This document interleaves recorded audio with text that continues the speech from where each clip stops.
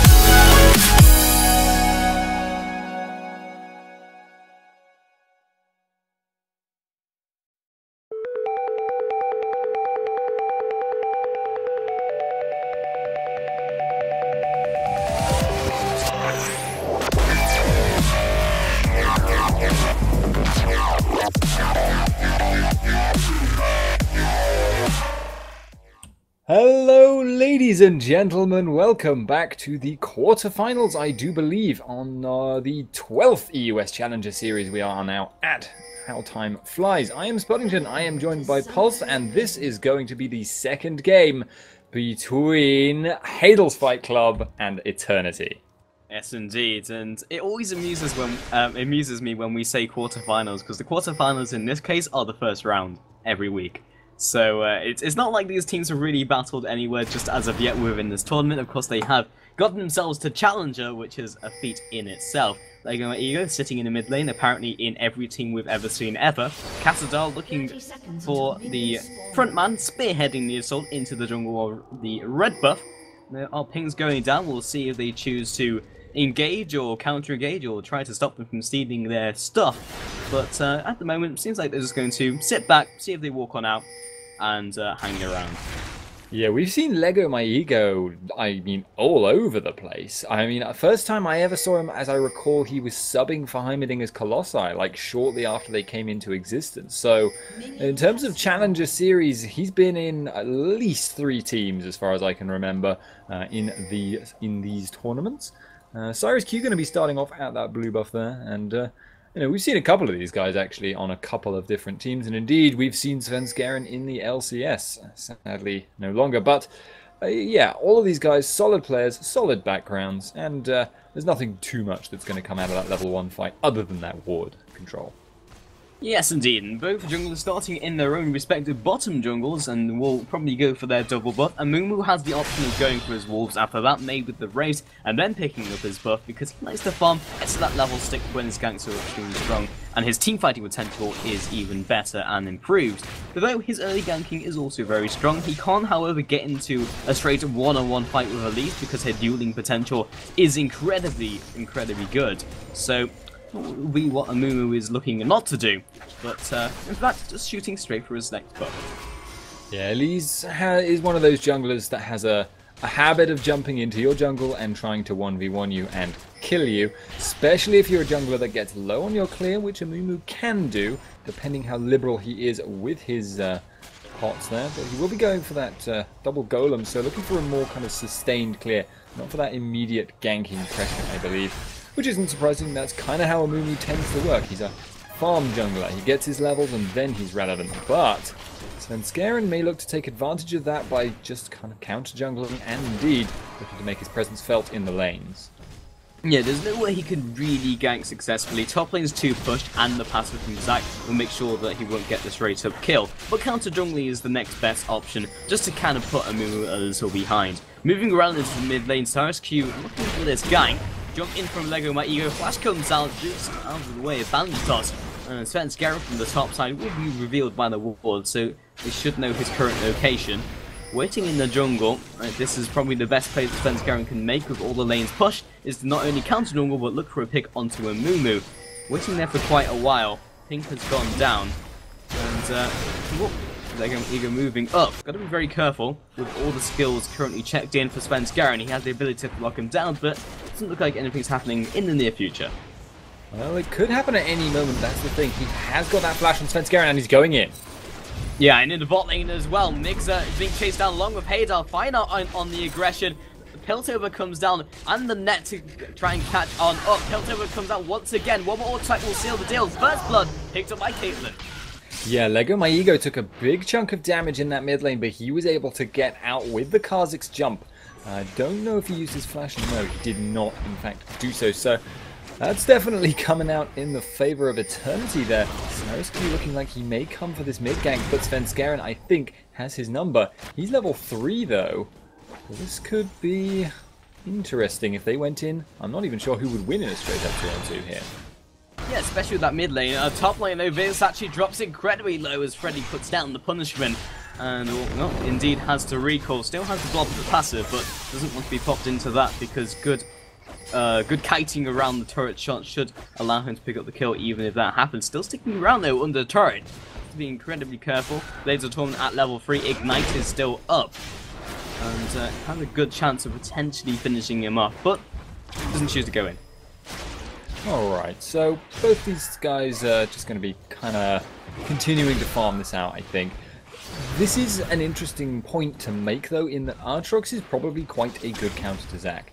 His sustain is going to scale up harder as the game goes on, and he is going to be able to just go toe-to-toe -to -toe with Zac, who usually relies on grinding you down slowly and eventually going for the all-in when he's just got that significant health advantage. Goes for the, you know, the burst with the let's bounce and the constant unstable matter. But Aatrox's health sustain when he's below 50% is just ridiculous. He, you know, he you cannot get rid of him. And his wave clear is also a pretty good answer, so Zac's going to have a hard time either roaming or fighting his lane opponent. And it's worth mentioning we're on the current patch, so Zach, uh, the changes have come in, right? I'm not just absolutely I, crazy. I do believe they came in uh, overnight yeah. last night. Yeah, so Zach um, will have those changes to his uh, his passive. So in the top lane, because most of them, most of the top lanes are melee, there's a lot more counterplay. Gonna hold that for for a second. Lego Ego jumps in with leap straight into Taste Their Fear. Perfect balance toss. Counter guy comes in from Svenskeren. Flash into Taste Their Fear once again. Picks up the kill. Repel onto a minion. Gets Svenskeren out of dodge, but one for zero trade. Meanwhile, the top lane, the kill is picked up to, into Vidixachi. Oh, so a little bit surprising to see him going down there, but uh, you can see from the location of that green goop next to the tower, he was out of tower range when he was taken down. And the maxing of the Blades of Torment actually probably means that Aatrox, well, he's not too worried about uh, um, a, a, sort of wave clear. I, I want to call it wave clear, but killing Zac's blobs. Yeah, blob clear, and uh, in the mid lane, Sven Svenskeren's found himself Lego Ego, huge element comes out, takes their fear and the lead. Can he connect the dots and pick up the next kill? Kazakar comes back into the mid lane, and uh, should do enough to get Sven Svenskaren out of the way. Pins him down with Mark of the Storm, another tower shot comes out, and doesn't quite pick up the kill just kind of dicing with death. That will give Kennen an advantage to push it up to the tower. Lego My Ego does not dare stay in, even though he knows what Kennen is going to do here.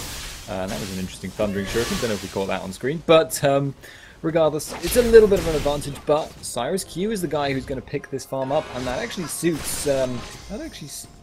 Eternity, that's who they are. and They're not X-Eternity, and they're not X-Nexus, and, and, and, they're not Haydal's Fight Club, but uh, Eternity quite well, just on the grounds that Amumu hitting level 6 earlier is always, always a good thing.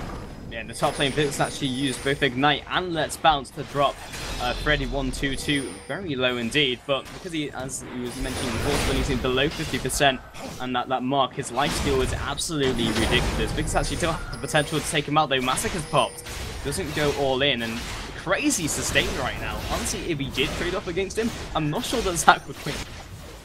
Yeah, that's the thing you have to be so careful of. It means basically Vizisachi can never go all in. Like, unless he's got like every single skill off cooldown and Freddy is down to like 10% HP so he can just burst him before he can get three auto attacks down. Then, other than that, the only chance he has to all in is if he's got Ignite up, because he can then uh, gimp that sustain out. Uh, but Svenskeren is coming around the side here. I think both teams are aware of this potential, but it's actually not going anywhere near the tower. Cyrus Q is behind as well. Yeah, looking for this engagement, Cyrus Q. In fact, lands a computer onto Vixachi, who definitely won't have his passive Blades of Torment comes down. Doesn't choose to follow uh, follow up.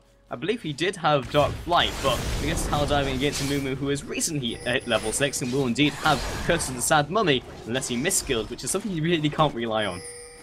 Yeah, that's uh, that's not the best plan. I mean, it might work. Bronze five tactics.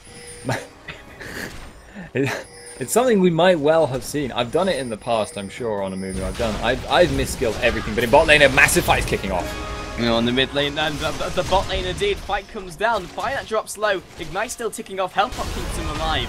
And in the mid lane, the fight has finally commenced. Curse sad moment for the counter gauge, Freddy drops low, still with the blood well. Won't drop if he's uh, taken down once, and in fact, no kills go out anywhere. Surprising, but a lot of cooldowns used. You've got the Crescendo, you've got the Stranglethorns, you've got the ultimate from Graves and from Caitlyn. All of these things being used, but the bot lane means basically Zyra Graves is actually taking an advantage at the moment, pushing them up against that tower, and they may be able to take it out relatively shortly. Which uh, is an impressive feat considering we were expecting Caitlyn to kind of just come out on top here. Uh, regardless, however, I don't know what on earth was going on in the mid-fight. I was not looking at that, and and it really, really was quite messy. Yeah, because you passed me over to the bot fight, I was thinking the mid fight was going to happen first and more was going to happen, and then it didn't, so I moved over to the bot lane, and then saw something happen in the mid lane. So it was like, it was constant action in both of those places, and it was indeed very messy. Villix actually coming into the mid lane, and could look for the gank onto Ken. He will have more damage and more levels, resulting in better gank potential than potentially the jungler at this stage, since uh, Q has indeed used his Curse uh, Sad Mummy, and that is on cooldown. But Villix actually heading on back up to the top lane. Yeah, and he's just going to go back to being kind of bullied around a little bit by Aatrox. 99 Bot lane though, Finite picks up the kill onto Mixer. Q still looking to follow up. Good juke out of the way, quick draw. Als oh, Bandage toss, but still 1 for 0 so far. Svenskeren looking to potentially do some damage or at least keep Graves in lane so he can push out the wave. But there might be them moving on to Drake, or at least they're going to contest it. That's a smart move here. They know that they did just lose a man in that bottom lane, but they also know that the bot lane cannot contest. Grom and Finite are just way, way too low, so that's a free dragon taken away. That Cyrus Q is just going to blow his smite on the wolves, nothing else to use it on. And, well, they actually come out ahead in spite of kind of coming up behind in terms of the actual fight. Yeah, that was really good timing call. Like, in terms of decision making, that was exceptional. Just the knowledge of exactly what they had available to them and what uh, the team of Eternity had available to them was just, it was split second, it was instant, and it worked out. So, picking up the Dragon will put them slightly ahead, as you mentioned. Bot Tower also goes down. Sarasky looking for the counter engage, but this is going to head on back with two objectives out in the bag. Yeah, so starting to take that little bit of map control. We've got that Graves versus Caitlyn. And this is now kind of Caitlyn's doldrums. Uh, this is now the phase of the game where she's probably at her weakest. She's not got any major items, so she hasn't got that huge auto-attack damage at range. And Graves, meanwhile, is starting to get that serious burst. And it looks like Amumu may be wanting to take advantage of that, but he's been countered by Svenskeren. Yeah, heading in from the side. Kursa Mummy lands onto three, and the crescendo onto two. Finite still laying down the hurt. Svenskeren actually might pick up the kill onto Cyrus Q. Moves instead onto Sona, picks up one. Moving on to Haydal. Still three versus two. Cyrus Q looking to body block out of the way. Huge out comes out from Tantrum, and Finite still trading. Double kill comes in for Zyra. And that's the power of an ahead Svenskeren on that Elise so, so strong in that environment. Lego My Ego may look to kind of capitalize here, but he has been kind of counteracted by Kennen, who is just, you know, just going to ward him off with some uh, some shurikens. But Svenskeren on that Elise, in that situation where it's like a it's like a kind of engage disengage battle, and everyone is at really really low health, and he's quite high level for a, for a jungler at this stage. That's incredibly powerful. Cyrus Q getting caught. And, and dead. dead. Yeah, that that that's, that's not very exciting, i got to be honest. But uh, that's the, the, perils of walking into your jungle uh, when there is an enemy in it and you're on 25% HP. Yeah, the perils of walking walking into your own jungle at uh, honestly 13 minutes is something you kind of expect to be able to just, you know, go in your jungle and farm, but apparently not when Freddy's on the case. Looking to counter jungle himself, Visit, uh, looking to once again try and steal this away from him, or at least trade off against him. Picks up the red buff, now trading off against him. He won't be able to trade, but he can Elastic Slingshot out. Dark Flight to follow after, and the auto attacks to keep him in place. Pressing Strike comes out for the slow, and still just wearing him down. Now to the Blobblitz passive. He has Blood well, he can afford to take out this and maybe take some hits from the turret with Massacre, increasing the range. Very smart play. Yeah, it also gives you that AoE nuke around you. And where Eternity were originally seeming to get some momentum in this game, they were ahead before that Dragon Call. Now they are several thousand gold behind already. Svenskeren looking scary. You've got Freddy looking scary. Kassadar's doing okay, and he's Kennen, so as soon as he's got his Zhonya's, he's set for life. It doesn't really look like there's much that uh, Eternity can do at this stage. Yeah, it seems like a carbon copy of the first game. Not as quite as harsh as it was in the first game because they were just completely dominating to the point where there was no recall. This time, they have a good tank line. Caitlyn is actually doing better than, um, in fact, Finite was doing on Corki last game. Freddy finds himself caught by Cyrus Q, but Vizixachi and Cyrus just don't have the damage to take down someone like Aatrox. And honestly, with Massacre, he could easily 1 versus 2. Yeah, it's it's really really scary when you've got a tank top and a tank jungler and this kind of sustain heavy character has gotten really, really ahead to the point where, as you say, their sustained damage might not actually be enough to force him away when he's got that sustain and a decent bit of resistances. If he picks up that Spirit Visage, it's going to be even harder to deal with him. At the moment, he's playing it careful, but we could see that get really, really nasty for Eternity. They may look for the engage on bot. Yeah, Cyrus Q lands ultimate onto Heydel and Nixer. Once again, exceptional, but the counter engage with Stranglethorns is strong. Front lines with Lego My Ego to reclaim a kill. Finite still there, picks up one. Moving on to Nixer. Can he pin him in place? Great um, Void Spike slows him down into the leap reset and a second kill, but with Kennen from the backside Graves still there. Do they choose to go for this engagement? They could definitely get it onto onto a move if he splits himself and Finite is still there. Slicing Maelstrom comes down, lands the Mark of the Storm stun. Sona now coming back into contention along with Lego My Ego. Not the best decision making, but in the meantime, Heydel picks up one. Gets doesn't quite get the stun just as of yet. Misses the Void Spikes, and they should be in the clear. Yeah, they're in the And then the not Lego My Ego jumps under the turret. He gets picked up in return. Collateral damage picks up the kill. I was leaving it just for a couple seconds just in case. Red team's turret has been destroyed. Another kill goes down. In fact, Finite picks up another. And uh Bunningson, are you are you there? Did you mute yourself? Is it safe for me to talk?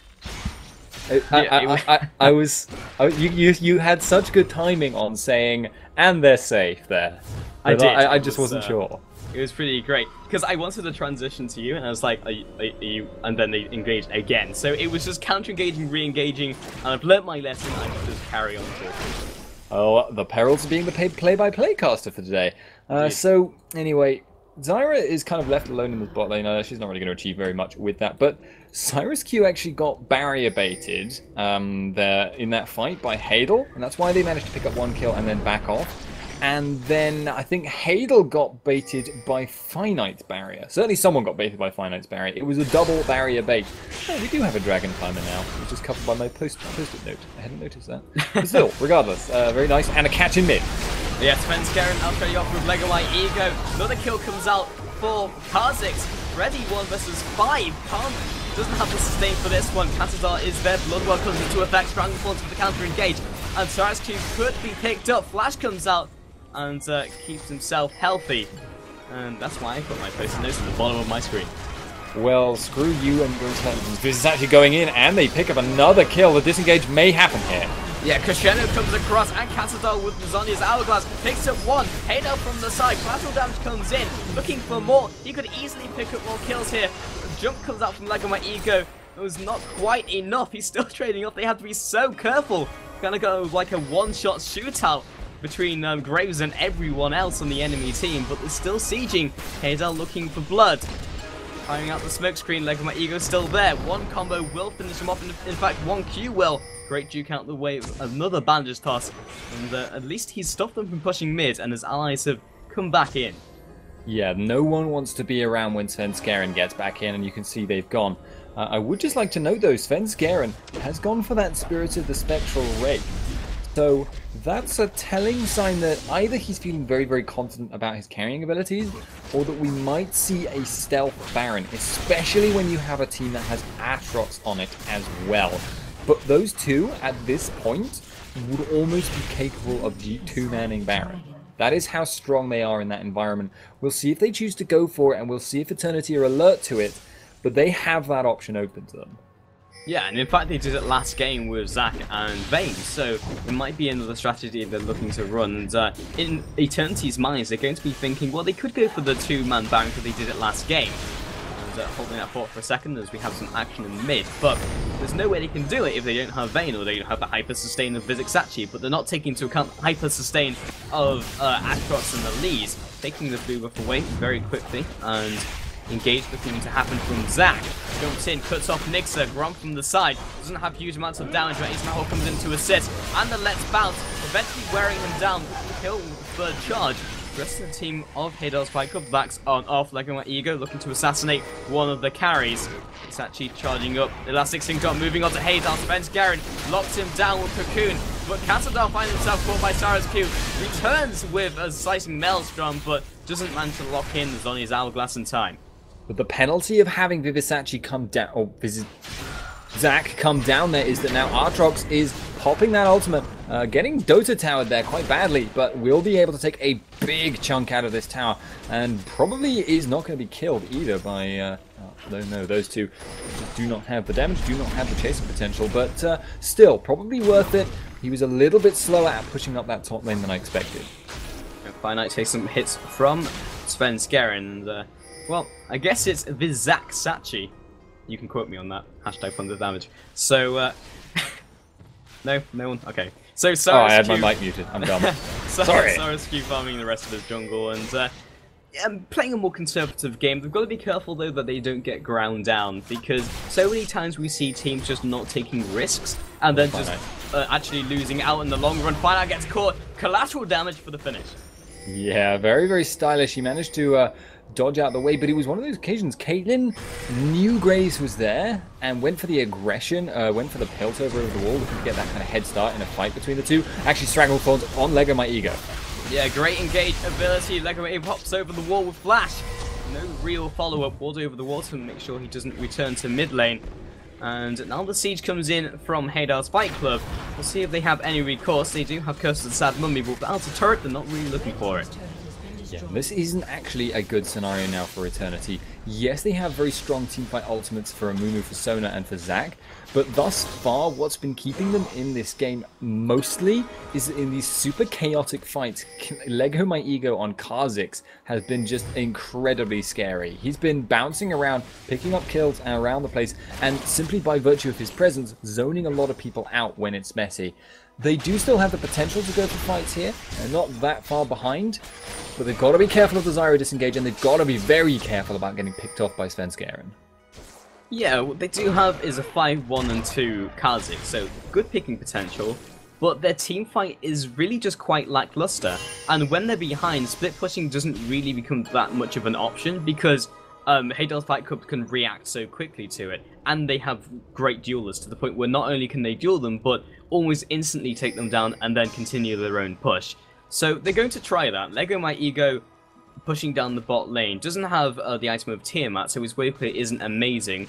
Uh, he only really has Void Spikes to assist with that. And the fact, interesting evolution right? He's gone for Leap first for the reset, and then gone for the Void Assault second. Now that is interesting, actually. I've not seen that choice yeah. before, but if you think about it, when you're looking at his role in this team fight, he is cleanup crew. The best cleanup skill you can give to Kha'Zix uh, in terms of evolution is that E, definitely. That R will also give him the flexibility to maneuver around the fight without needing to worry too much about being locked down, or at least certainly not as badly. But um, I would like to be referred to as Nostradamus in the future. Um, by my basic ability of pattern recognition, they are doing Baron. Indeed, and with Graves finding himself in the bot lane and a push from Cassadar and Mixer. Honestly, I think it was around the same stage last game. And yep, they're, they're going to take it with great tackling ability from the Spiderlings and the sustain from both these players. On top of the fact he has uh, Spirit of the Spectral Wraith and he's in fact picked up Spirit Visage. They must have seen that coming. It's an interesting question because if they saw it coming though, they had the men in the right area. Yes, Kha'Zix was committed to bot, but so was Graves it would have been a 4 on 4 invading the Baron buff. I think they just didn't think about it.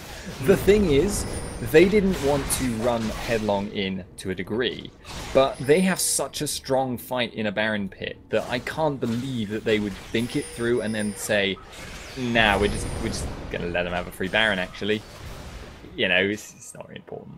Yeah, it's only huge amounts of stats in that 24 minutes, very important. So RSQ clearing out the waves with his team, and now we get into the siege, which, uh, but with Baron with the extra damage and regeneration, we'll be in very good shape. And Pinkwood goes over the wall.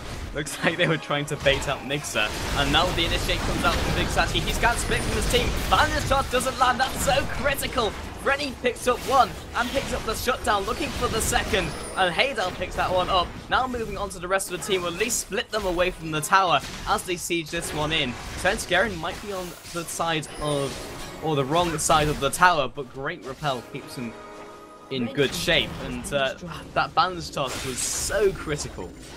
Yeah, very unfortunate there. And I also noticed at the end, um, the snap trap uh, was was attempted to be put under Svenskeren's feet as he landed, but uh, apparently missed, even though he was repelled into the air with nothing to jump to.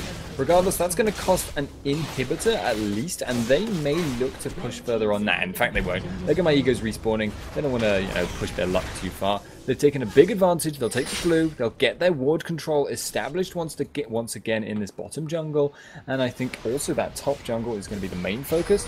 And then they are just going to go back, heal up, take the dragon, etc., etc., and then should be set and ready for another fight.